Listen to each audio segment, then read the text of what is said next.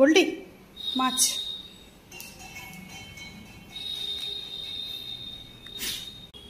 চলো, এটা করে আমি সেট করব, চলো।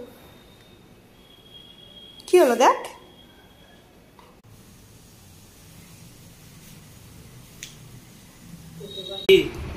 গোল্ডি দেখ, মাছ।